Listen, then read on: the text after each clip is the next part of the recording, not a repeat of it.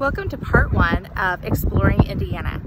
Today I am at the Blue Heron Inn in LaPorte, Indiana, and we just had the best weekend. Uh, it's kind of one of those places that nobody knows about, and I feel like it's a hidden gem, and everyone should check it out. I want to mention that the place that we stayed, the Blue Heron Inn, is wonderful because they are dog friendly. So they make it super comfortable for you. There's a park located on each side of the hotel that allows you to bring your pets out easy access. So we have had a wonderful time.